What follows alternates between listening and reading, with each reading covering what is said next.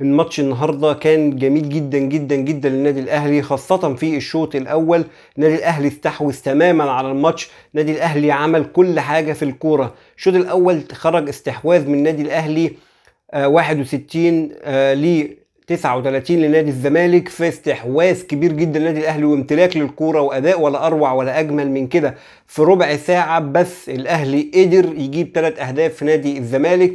بداية من الدقيقة 15 الهدف الأول عن طريق أليو ديانج رجل المباراة النهارده ولا أروع ولا أجمل من كده أليو ديانج النهارده. أي نعم الجون الأول كان فيه توفيق كبير جدا إلا إن أداء أليو ديانج الشوط الماتش كله والاداء النهارده كان عالمي عالمي عالمي من أليو ديانج. وقدر علي معلول في الدقيقة 18 يحرز الهدف الثاني من ضربة جزاء وهو اللي صنع ضربة الجزاء بعد ما لم حمزة المسلوسي في منطقة الجزاء ووقعوا أو مسكوا كده حمزة المسلوسي وعرقله وتم احتساب ركلة جزاء صحيحة للنادي الأهلي. وقدر إنه يحرزها علي معلول في الدقيقة 18 ليصبح النادي الأهلي 2-0 في الدقيقة 18 وبعد كده في الدقيقة 23 محمد شريف اسيست عالمي من عمرو السولية وعمرو السولية اللي قدم أداء ولا أروع ولا أجمل من كده النهاردة.